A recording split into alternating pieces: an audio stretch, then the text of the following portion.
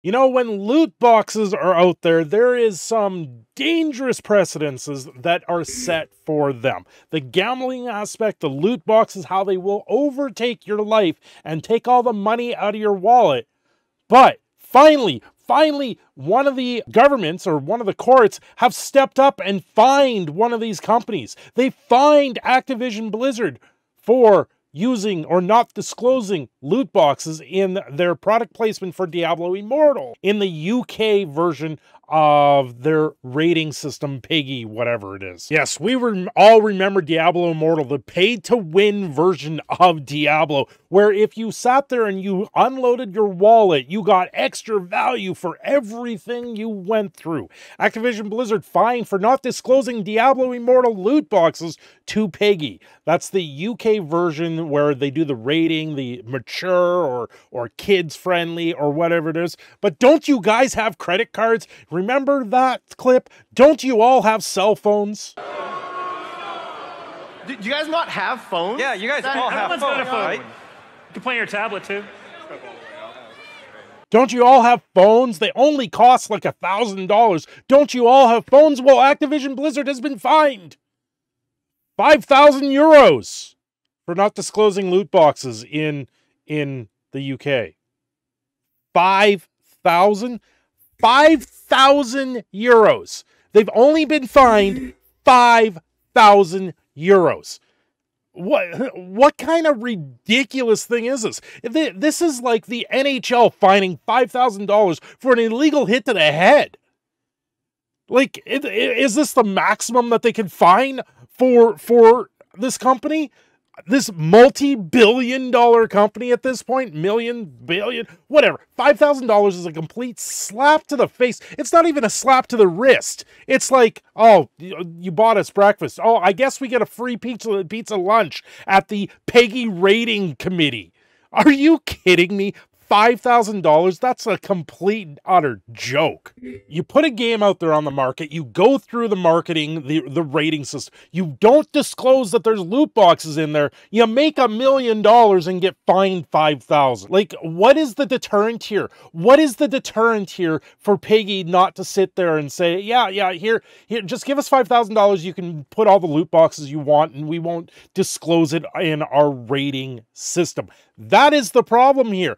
PEGI, which is the UK version of this, needs to step it up. If loot boxes aren't being disclosed in the ratings for these video games that are be re- being released to the consumer, they're not protecting the consumer. They're not stepping up and actually doing us a favor at all. They're all they're doing is letting it slide on by and say, buy us pizza lunch and we will let you have all the loot boxes you can you want. You want to make a million dollars tomorrow? Put loot boxes in your game. We're only asking for $5,000. Hey, this this is a great time. If you like this content, do support the content.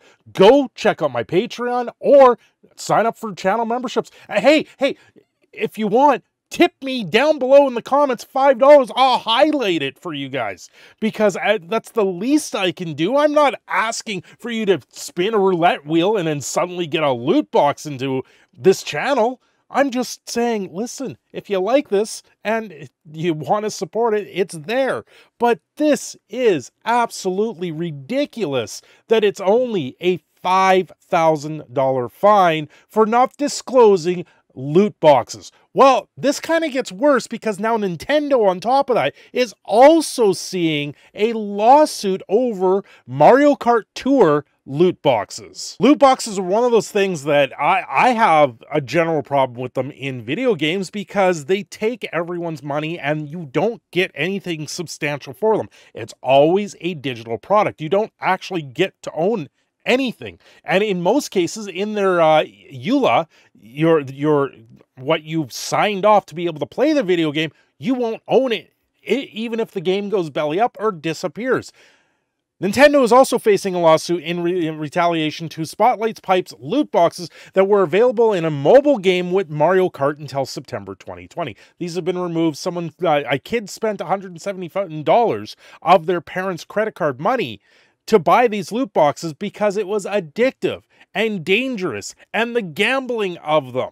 They've been removed from the game. So much the same deal. This one actually is going through the courts and is actually through a class action lawsuit right now because there's many more people, but it's in the game without purchasing them and trick players into spending more money. It's absolutely ridiculous at this point. Loot boxes are a bane when it comes to when it comes to these games. And they're uh, the, they create a pay to win scheme. They create a situation now where the rating systems don't step up and warn you that they're in the games. So where do they need to go.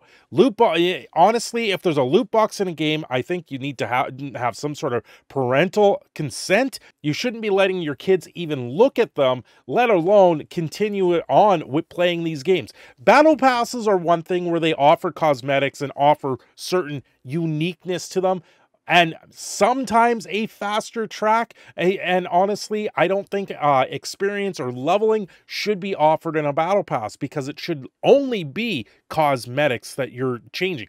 Things that don't actually generate a different way of playing the game or create a pay to win solution. If you want loot boxes, they literally have to be just by themselves.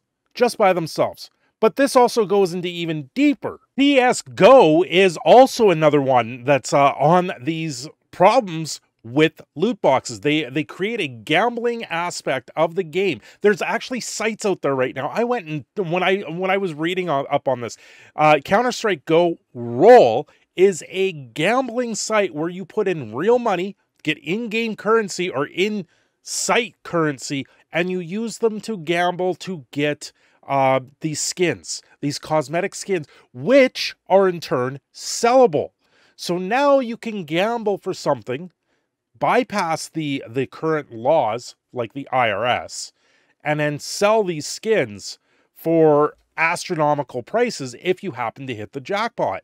This is this is the practice and why things need to be really looked at when it comes to loot boxes and cosmetics. They are starting to envelop a lot of ways and in, in all honesty, this is creating a way to launder money through all of these companies. So Activision Blizzard gets fined $5,000. So the substantialness of this is that these companies aren't being handed million dollars in fines. They're not, the incentive of this is there. They make millions of dollars on loot boxes and cosmetics, but there's no reason not to stop because no one's stepping up to the plate.